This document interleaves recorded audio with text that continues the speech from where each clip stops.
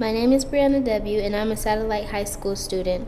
I chose the woodworker piece because it shows power and the connection between the two people. My creative response visualizes power with the hammer, and the chain symbolizes a strong connection. My framing question was why do artists make art? Artists make art because it gives emotion and connects with the artist's heart.